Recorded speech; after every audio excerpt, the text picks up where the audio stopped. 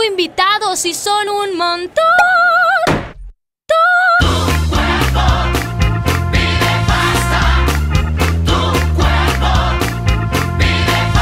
Ah, perdón, eh, el queso sabe dónde... Ah, pero qué lindo piso.